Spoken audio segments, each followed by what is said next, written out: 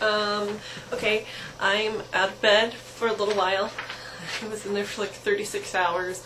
I sort of wish I were still in there, but I'm making myself sit up for a little bit of time. I posted my from in bed video, and um, I feel like after being horizontal for a set number of time, I should at least be sitting up somewhere else in my house to let fluids from my ears and stuff drain, and um, I'm sure it's good for my spine, and I, if I make myself sit up and eat something, maybe.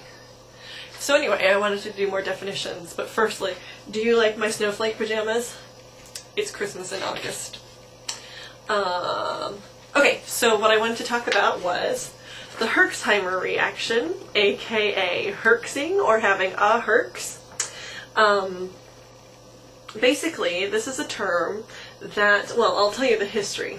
There was a person who was an Austrian dermatologist, um, Jarisch Herxheimer. Um, and he w- worked in Vienna in 1895 and um, was a dermatologist, but he treated syphilis and um, syphilitic lesions on the skin. And he first noticed that when they first started treating these lesions, um, a lot of patients had severe fevers and perspiration and night sweats and nausea and vomiting, and their skin lesions became larger and angrier. Um, and then eventually they would sort of settle down. And then after sort of um, studying that for a while, he and his brother, um, Carl, learned that it sort of is a way, um, and, and they studied syphilis, but it applies to Lyme disease um, too. It, it's sort of the medicine goes into your body to fight, and then the disease has to fight back, and as it fights back, and if the medicine wins, the disease dies and releases all these toxins, these neurotoxins. Um, uh, and so a lot of people's bodies get sort of sicker before they get better. Now, um,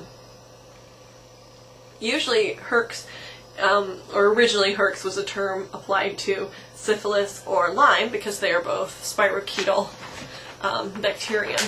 And so that's what Herxing was, that's what Herxheimer found anyway, was uh, the way spirochetal bacteria die off.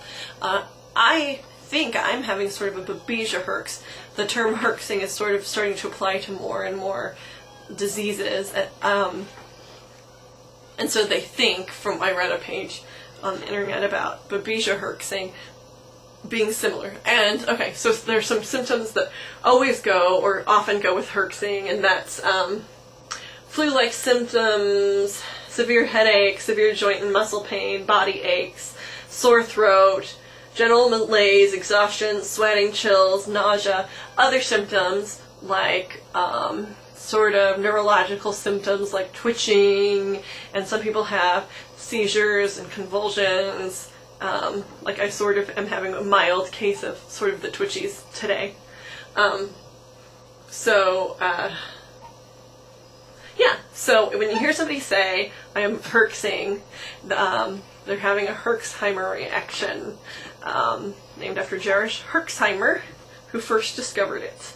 And it is a response to drugs killing off disease in your body, and a lot of doctors maintain it's a really good sign because it means that the medicine is at least killing something. um, and I, I, read about um, sometimes if I breathe deep and sort of calm down, it helps. Um, I read about uh,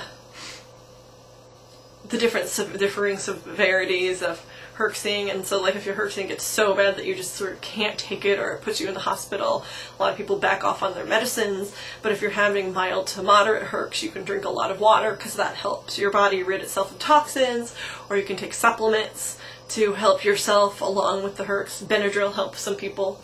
So I just wanted to talk about herxing, Herxheimer reaction, aka herxing, having a herx. Lyme disease for dummies.